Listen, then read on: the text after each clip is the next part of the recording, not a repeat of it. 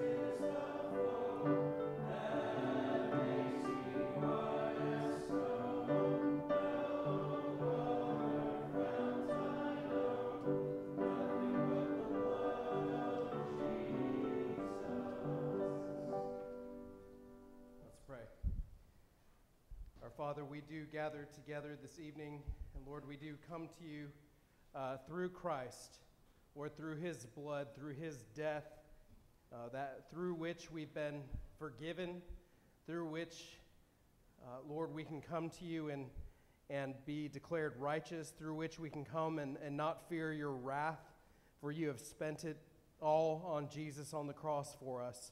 So, Lord, we do uh, come to you as children we do come asking that you would be with us tonight. Uh, we do come confessing that we need you. Uh, Father, we pray that you would give us what we need. We pray for your grace to be uh, poured out upon us. We pray for your spirit to work in our hearts.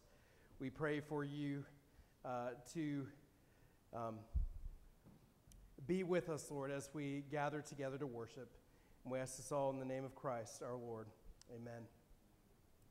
Well, if you'd uh, turn in your hymnal again to Psalm uh, 40 or hymn number 40, which again is, I believe, hymn number 46. Um, again, it's the, the psalm in the Bible that inspired Martin Luther to write A Mighty Fortress is Our God.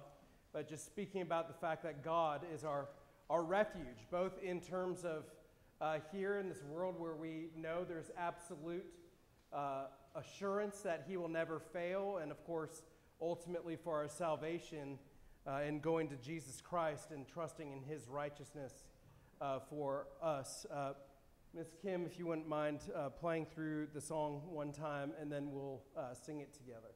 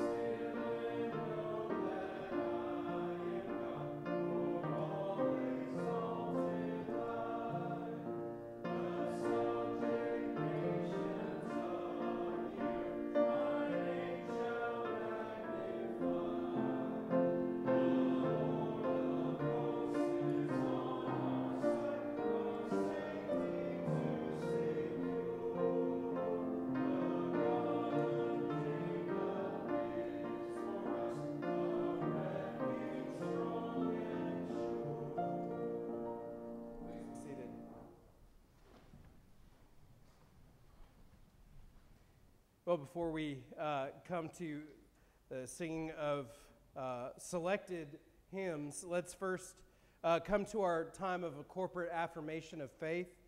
Uh, we have two questions printed in our bulletins from the Heidelberg Catechism, question 65 and 67. And first, we're going to see, uh, of course, as Protestants, we know that faith is what unites us with the Lord Jesus Christ, that it's by faith alone. Uh, but with the youth this morning in Sunday school, as we go through the book of Hebrews, we got to talk about the fact that faith, genuine saving faith, is a gift from God uh, that God begins this, this good work of renewing our hearts and opening our eyes to see the Lord Jesus Christ, and He will continue that work.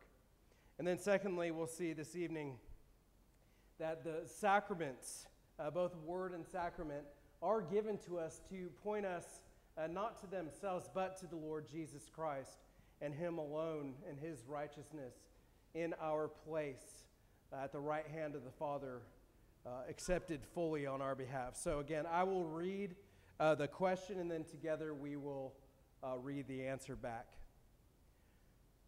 It says, Since then we are made partakers of Christ and all his benefits by faith only, whence does this faith proceed?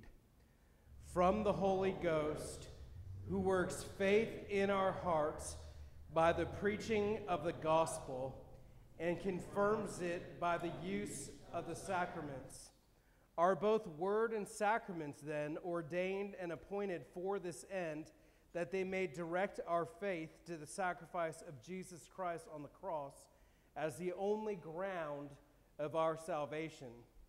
Yes, indeed, for the Holy Ghost teaches us in the gospel and assures us by the sacraments that the whole of our salvation depends upon that one sacrifice of Christ, which he offered for us on the cross. Amen. Well, let's uh, take this time. You can remain seated. Let's take this time to uh, have two hymns that uh, we choose. Uh, so we'll have a time now um, of two congregational selections for hymns to sing this evening. I'll go from anybody uh, that's ready to choose a hymn. 560, Mr. K. McGirt. 560 from up in the balcony. Uh, and we'll do all three verses. So 560, Lord, speak to me that I may speak. Um, and again, let's do all three verses of this uh, hymn.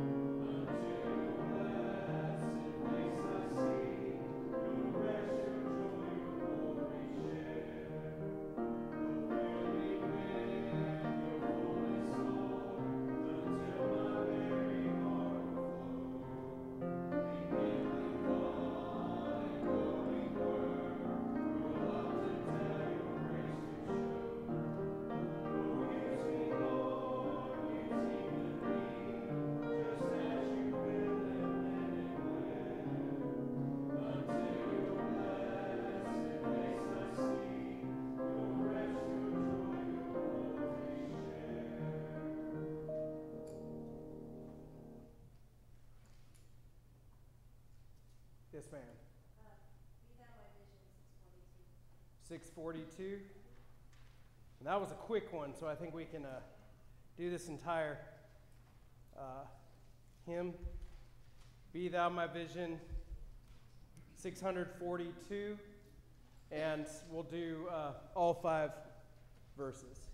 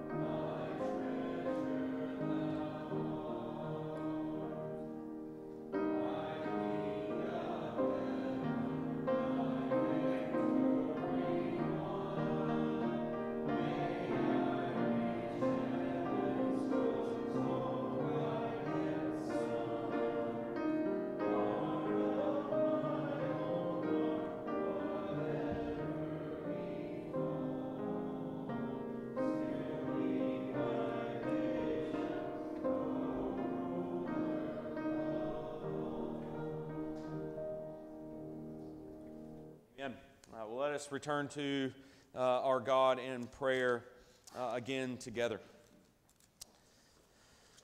Father in heaven, you are indeed worthy of our adoration and our praise. You alone uh, are worthy of the, of the praises of your people.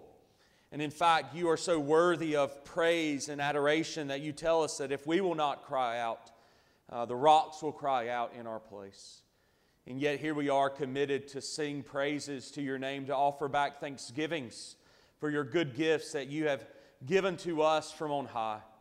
Let there never be a day that the rocks cry out in our place, for let praise and adoration and thanksgiving continually be on our lips. As the psalmist even called us into worship, let us sing to the Lord. Let us make a joyful noise to the rock of our salvation. Let us come into his presence with thanksgiving and let us make a joyful noise to him with songs of praise. We pray that our praises have been pleasing to your ear as your people called by your name, forgiven, justified, and being sanctified by the power of the cross of Calvary and by the power of your Spirit. We pray, O Lord, that the adoration that we have shown here will continually be a part of our daily living. Father, we do come knowing that we come with praise and adoration, for we are a people who are unworthy uh, to be in your presence as you have called us into your presence, especially here on the Lord's Day, as you have called us sons and daughters of the King of Kings and the Lord of Lords. We are those who will confess that we do not deserve this gift of salvation. We do not deserve your favor and your mercy. And, and yet you have shown us your love and your long sufferingness and your kindness uh, to us through this unmerited favor from heaven. You have called us and you have chosen us before the foundations of the world. You have changed our hearts, replacing our heart of stone with heart of flesh so that we might pursue after thee. And you have called us your beloved. You have called us saints, set apart ones who are now, even now, clothed in the righteousness of Christ, so that when you see us, you see not our sins, not our iniquities, not our failings, but you see the perfect obedience of your Son, Jesus, and you proclaim us not guilty. Father, we know that we have struck out against your commandments. We know that we have erred in our ways. We know that we have fallen short of your glorious standards, and yet we come, yet we come knowing that we are only worthy through Jesus Christ.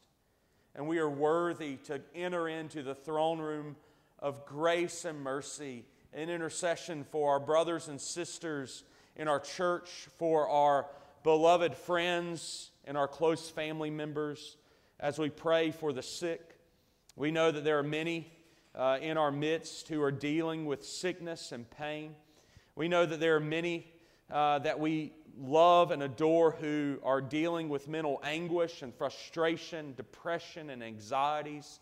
And we pray, O oh Lord, that in these seasons of doubt, in these seasons of pain, in these seasons of sickness, that you would show yourself to be uh, their powerful God, that you would work through the prayers of your people, and that you would heal their bodies. And in fact, Father, we give you thanksgiving for the common graces of things like good doctors and nurses and medicine so that we might be relieved from our symptoms and our ailments.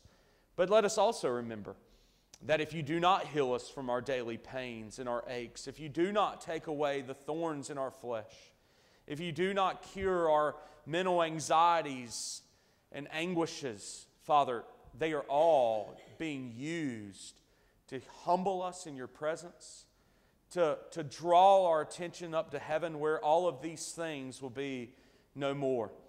We pray that even as we deal with sicknesses and pains within our own body, that it would Make us long even more for the eternal home of heaven, where there will be no more sickness, no more pain, no more tears, uh, no more depression or anxieties or frustration or anger, but we will gather around the throne forever in heaven in perfect bliss and in perfect adoration. There we will feast with you, we will drink to our fill we will be invited to that marriage supper of the Lamb, and we will behold you, and we will be close to you, and we will be holy as you are holy. And so, Father, we think about even that holiness that we will experience in heaven, and we pray for the sanctification of the saints here. We pray that by the preaching of your word, by the power of your spirit, that you would enable us to put to death sin in our life.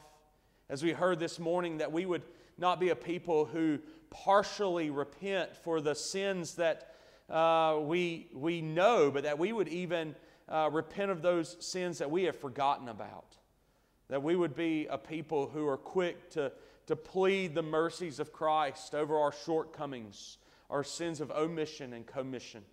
Uh, we pray, O oh Lord, that we would uh, follow after Thee, that we would pick up our cross daily and pursue Christ and Christ's likeness, and that we would and that we would proclaim, as we even sung about just a few moments ago, that you would use our time in your word, that you would use our sanctification so that we might share uh, the good news of the gospel for all people, to our family, our family members, our classmates, our neighbors, our community.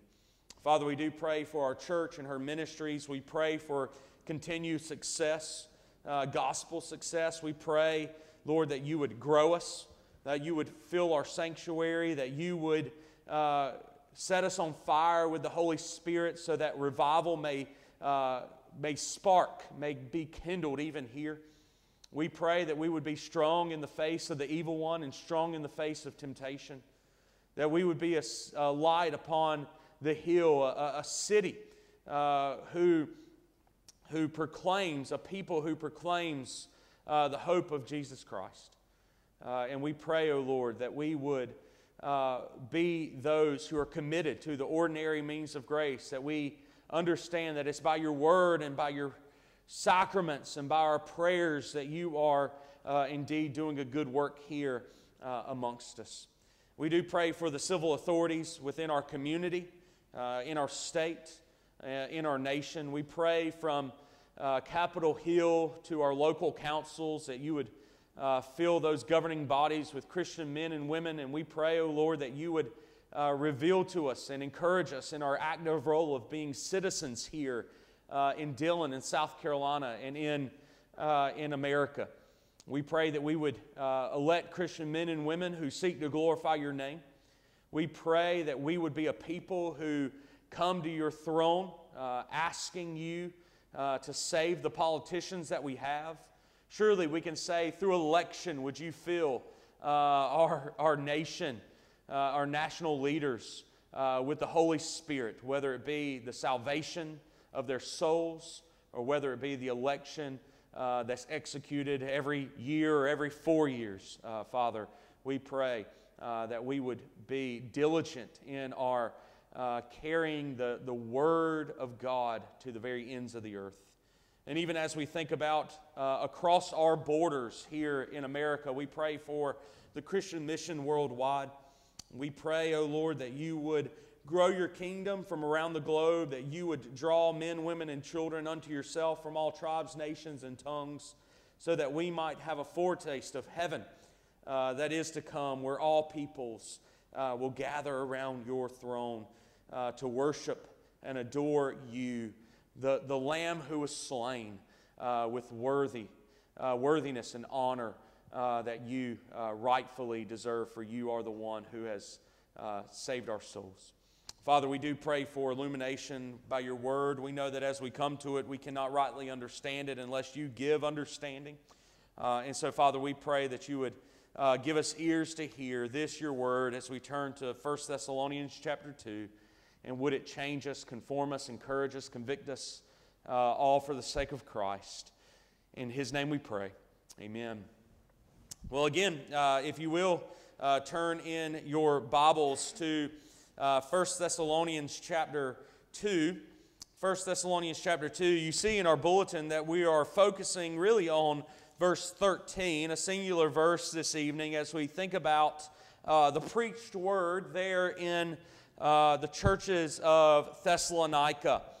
Uh, as Paul has already established, he has been a, a gentle mother uh, to the Thessalonian believers. He has cared for them, he has sacrificed for them, uh, he has loved them, uh, not on an impersonal level, but on a very personal, uh, relational level. that he has lived among them, he has preached the gospel to them, he has cared for them, even so much so that he has done it here in Thessalonica, what is implied here in our verses that we handled last week, for free. Uh, he, is, he has recognized that there is a responsibility from him and the apostles not to put a financial burden uh, upon the believers, the church of Thessalonica. Uh, they are young infants in their church growth process. And so he says, I have labored all night making tents so that I might labor all day in preaching the gospel, so that I would not be a burden to you. And of course, last week we began looking at what a, a, uh, a God pleasing ministry uh, would look like.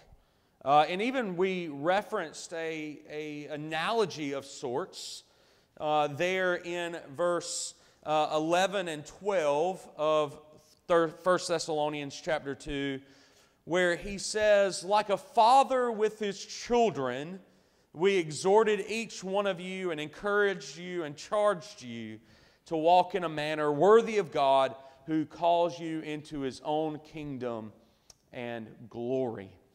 Well, with that being our context, and admittedly, we will spend some time in 11 and 12 uh, yet again.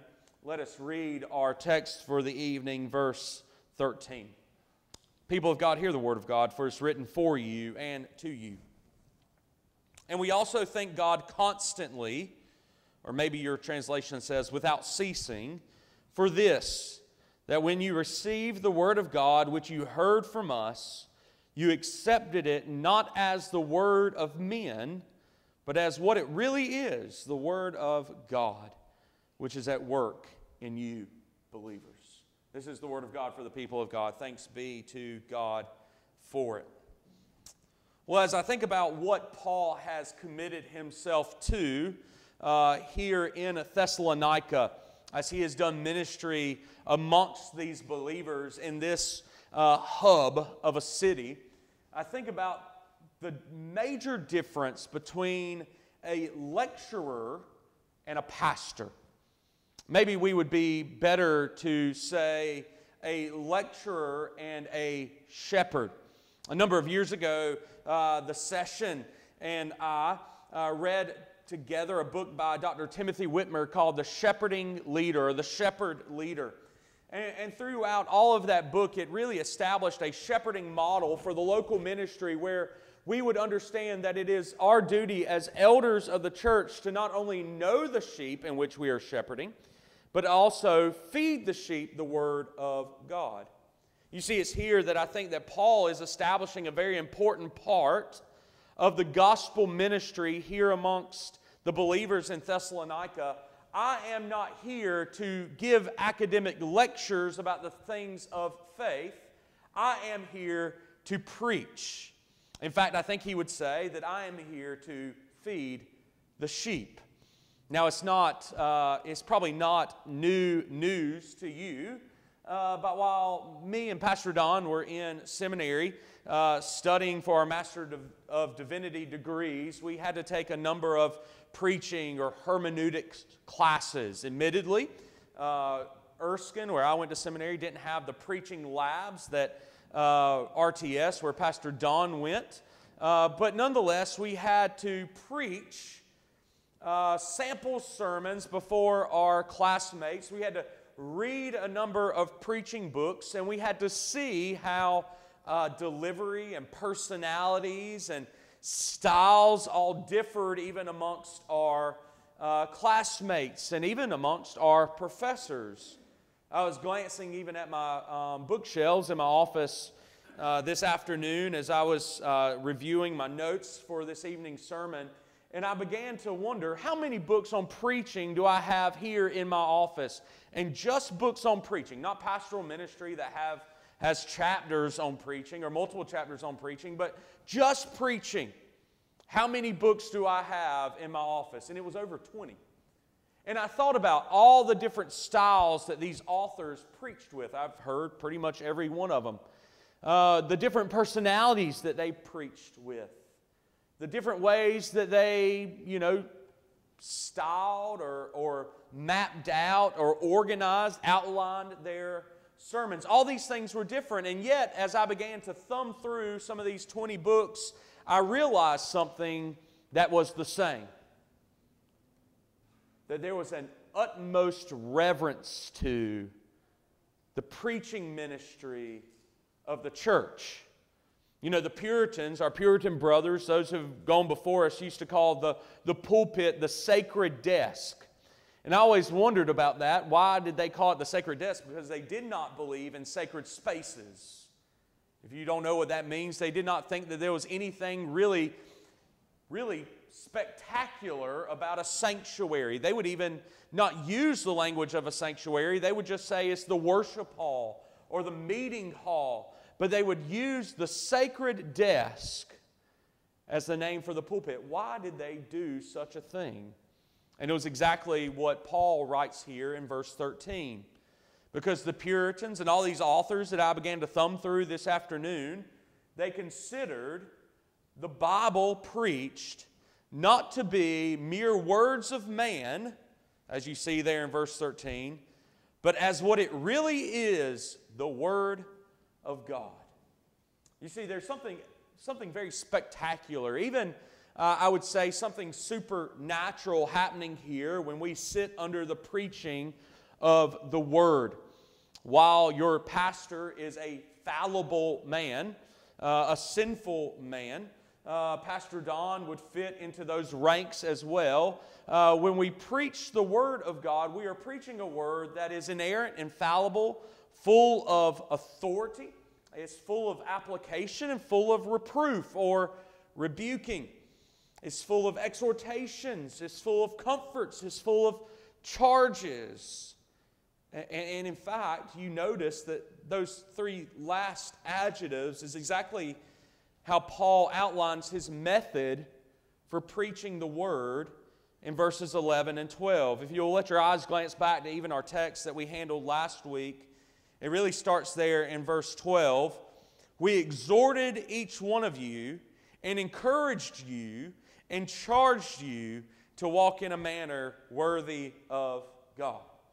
Now you have to understand something about the way Paul is writing. He is writing these three words or these three phrases. They're actually phrases in the original Greek, so that you might understand the role of preaching uh, in the life of the believer, in the life of the church, in the life of Christian experience, we might say. He says first that we have exhorted each one of you. This word exhorted means something like we have called or urged or we have pleaded with you. We have encouraged you to action that you might walk in a way that is worthy of God, the same God who has called you into his own kingdom and glory. You know, it's here that as he begins to talk about this exhortation, this call, this urging, this pleading, what are we calling believers to? What are we calling believers to in our preaching? Well, we're calling believers to faith. And you say, well, Matt, they're already believers. Why are we calling them to faith? And you remember the, the scene as, as Jesus leaves the Mount of Transfiguration, as he comes down with Peter, James, and John, he finds the rest of the apostles there and they're trying to cast out this demon. And he begins to say something along the lines of, Well, this kind cannot be cast out with anything but prayer. And the father falls before Jesus and he says, I believe, but help my unbelief. You see, it is the believer's life that needs more faith. Well, of course, we're calling unbelievers to faith. We're calling sinners to faith. It's the idea that the offer of the gospel is free and for all, and yet we're calling believers at the same time to more faith, to have a deeper trust in the Word of God, to have a deeper trust in the person and work of Christ, to have a deeper trust uh, in the gospel and the promises of the gospel. We go through seasons of, of doubt, we go through seasons of frustration, we go through seasons of spiritual anxiety, and we need reminders that our Lord is faithful. Is exactly what the apostle says, isn't it? That he is faithful even in the times that we are faithless. That faithlessness that the apostle talks about is written to believers, and, and that, that whole point of the gospel that he is faithful even when we are faithless is a call to more and more faith.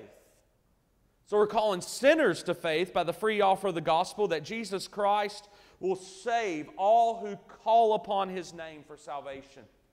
He'll save everyone who comes to him in faith and repentance. And at the same time, Paul says that we're calling believers to even deeper faith. We're exhorting them, we're urging them, we're pleading with them for faith and for holy living. That's exactly what he says there at the end of verse 12. We're exhorting you to walk in a manner worthy of God. And it demands that we re ask the question that we approached even last week in verses 1 through 6. It's as if the Apostle Paul is asking us, why are we a Christian? Are we a Christian so that we might receive a, a license to live in our sinfulness, our sinful identities, our sinful patterns? Are we Christians to live for God's glory? Paul says very clearly here that we are exhorting each one of you so that you might work or walk in a way that is pleasing to God, in a manner worthy of Him. But you also notice there that he uses another phrase, another word. Not only did they exhort, but they also encouraged. I actually think that a better translation, and maybe your translation or your version of God's word has this, and comforted you. Comforted you. It's this idea that Paul says that the word of God not only gives you a call, an urging, an exhortation to follow Christ, but that it also at the same time encourages you to walk with Christ or comforts you in your walk with Christ. If we were to do some scratching at the original language here, the Greek, because it's in the New Testament, it's as if uh, Paul is using that same language that Jesus uses in John chapter 14 when he's promising the Holy Spirit. He says, It's better for me to, to go so that the Comforter, talking about the Spirit, might come. He says that the Word of God comforts us, it speaks to us in a in a friendly manner. It rouses us and shows us what ought to be done. It strengthens us, us for, for action. And so, it, so Paul's saying that the Word of God comes alongside of us to assure us of our salvation. Assure us of our salvation. You, you might understand where I'm trying to go with that. If we're to be exhorted to have more faith, if we are to be exhorted in preaching to live holy lives, that means that there are times, there are seasons in which we are not living uh, for the glory of Christ. You know, there are times where we have besetting sins, ongoing sins that we cannot shake. There are times that we. Uh, we stray far from the Lord. There are times in our spiritual doubting that we feel as if God is not near. The Word comes alongside of us and it comforts us, it encourages us. It, it's a friendly reminder, if you will, that our salvation is, is sure in Christ because He is the sure foundation of our justification and our future glorification. Again, it's what the apostle John writes in 1 John chapter 2 where we will see Christ on that day, on that last day, and on that day we will be like him. It's what Paul writes in Philippians that the good work that he's started in us, he will bring to its completion. And so, not only is there a call to more faith, is there a call to more obedience, but there's also this same idea that it assures us that even when we feel away from Christ, He is close. And He is there. And by His word, He is not silent. But look at that third word charged. We charged.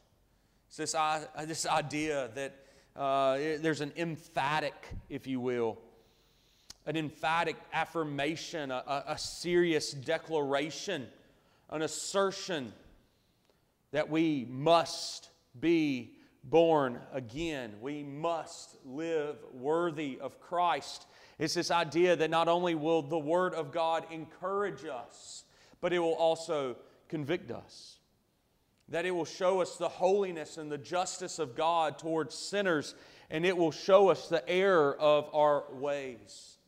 It will rebuke us where we need rebuking, and it will step on our toes exactly where it needs to step on our toes. Oftentimes, in growing up in the Pentecostal church, I remember hearing multiple people as they walked out of the sanctuary. Uh, they would say something along the lines of, "Pastor, I should have wore my steel-toed boots today because you really preached all over my toes. Well, it wasn't the preacher preaching all over your toes, it was the Holy Spirit convicting you of sin. But nonetheless, we understand what that feels like. We hear a sermon, we hear the word preached, and there's times that it begins to convict us, show us our errors, show us our sinfulness, and at the same time, show us the holiness of God. And so Paul says that they've committed themselves to this sort of method, this sort of teaching. It's full of exhortation, it's full of comfort, it's full of encouragement, but it's also full of conviction, rebuke, reproof, a charging to walk in a manner worthy of God who calls you into his own kingdom and glory. But remember the analogy that he starts it with. It's like a father with his children. And so, all the fathers in here ought to pay attention. Is this the kind of household? Is this the kind of way that we're leading family worship or we're feeding our children?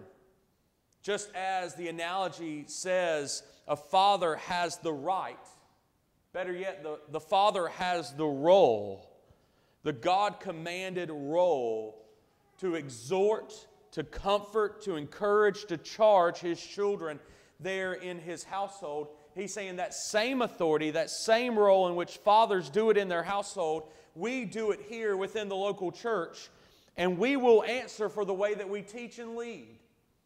We know from texts like Deuteronomy chapter 6 and Ephesians chapter 5 and Hebrews chapter 12 that, that where God has given the role of authority to elders within the church and fathers within the home, that they will answer for the way that they disciple their children. That they'll answer for the ways that they lead the congregation.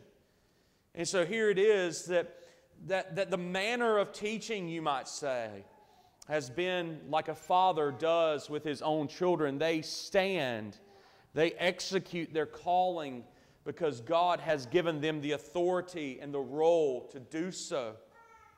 And there's something that needs to be mentioned here in this fatherly kind of role, this analogy of the father in the household. Notice who he says the recipients of his preaching are. We exhorted, read those next four words, each one of you. It reminds me of that, uh, that text that the Apostle Paul writes There's no Jew nor Gentile, slave nor free, male nor female within the household of God, but we are all one in Christ Jesus. And so, So, as Paul is preaching, he's not just preaching to the spiritually smart or gifted, he's not preaching just to men, he's not preaching just to adults, he's preaching to the household of God. And a very practical outworking of this as Presbyterians believing that the children belong to the covenant of God, we believe that children have a role within the, the preaching ministry of the church. That even as my children, five and three and five months, sit under the preaching of the word, we know that they might not understand each and every phrase or each and every turn of a word, and yet we know that the Spirit is at work. And the Spirit is applying these truths into their hearts, and, and the Spirit is, is allowing even a youngster's a youngster's mind to turn so that they might grow up in the nurture and the admonition of the Lord. You see, as Paul writes this letter to the Thessalonian church, he, he has written it with the idea, with the expectation that it would be read within a, a worship service of the local church on the Lord's Day. And so all the men and all the women and all the children would be sitting in a sanctuary, a meeting place, much like this. And Paul Paul's letter would begin to be read unto them.